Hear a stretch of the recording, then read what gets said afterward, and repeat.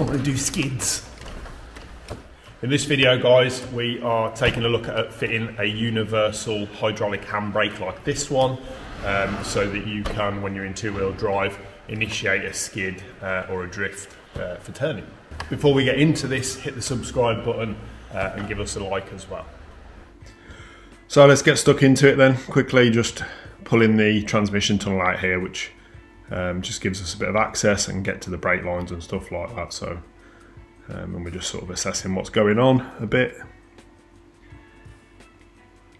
You see, I'm trying to get a position, a good position for uh, where to put the, the handbrake, and we kind of realised very early on that right where the grab handle is uh, for the passenger, which is the white thing there sticking up next to the pink gear stick, um, was right where we wanted to put the handbrake. So Ethan's just there working on cutting that off because it's welded to the chassis so we're going to drop it down um, just below where we wanted it to where we want to put the handbrake.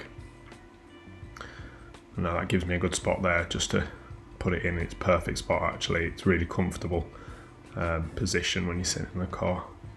So here you can see as well the uh, the master cylinder or the slave yeah it's a master cylinder um, the location of the ports what needs to be an in a feed in uh, and what is the feed out to the brakes. So Ethan's just tidying up the cut uh, and then he's going to get on now with making a bracket. So yeah, Ethan's on here making a bracket for the, the front of the handbrake. The, the rear side there where my hand is, you can see we're just going to mount it to an existing hole that was there, which is really useful actually. So um, just an L-shaped bracket, bit of CAD design there uh, and that'll let us mount the handbrake really well. So we're just figuring that out now.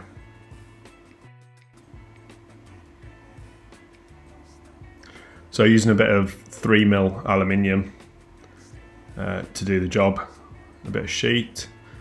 Ethan's made a nice template there out of cardboard that worked really well. Um,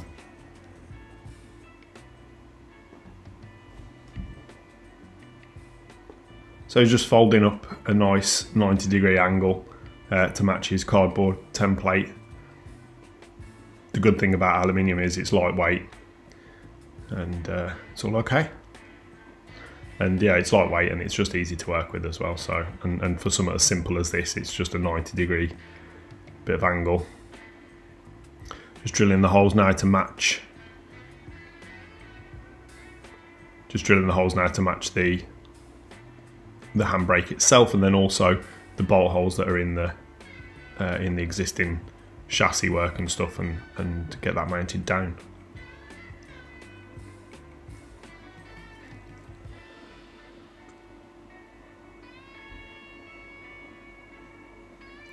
So we're going to fire in riv nuts here to, to bolt down the handbrake to the aluminium bracket that Ethan's made. Uh, and this just makes life so much easier um, when you're assembling and disassembling stuff, especially when it's a fiddly thing uh, and you can't quite get in to get onto nuts and stuff, just makes things a bit easier. So Ethan's taking care of that. I'm just plumbing up the brake line um, for this, which was really easy actually. So I took the existing brake line off the master cylinder, um, which is at the end of the pedal under your feet, um, and put that to the out um, on the on the master cylinder of the hydraulic handbrake. And then that meant I just needed to make up one hose to go from the original master cylinder to the hydraulic handbrake. Um, so that was really easy. It just meant that we, we're not making up a bunch of different custom hoses um, there was literally just one to do um, and got that sussed out pretty quick Ethan's just tightening up the handbrake now and we're going to get these uh, bled off. We are just dealing with some some leaks here, as you can see, so we're just trying to nail that down. Kept topping up the fluid to make sure we're not sucking in air. And it's pretty straightforward. It was really, I mean, once we got it mounted, it was just a case of make up that one hose, deal with these leaks, and uh, and bleed it through really well. Which you definitely need two people to bleed it.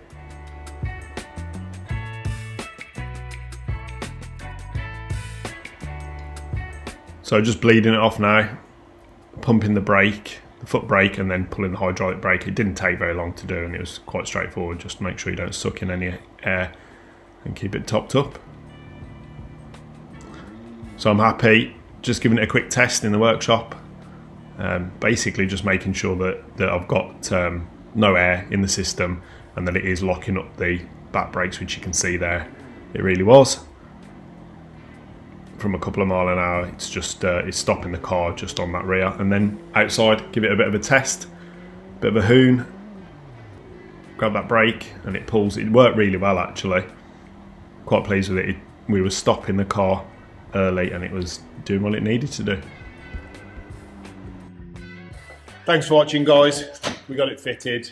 We're dying to test it now. Um, just going to put the rest of the car back together. Hit the subscribe button and uh, check us out in the next video.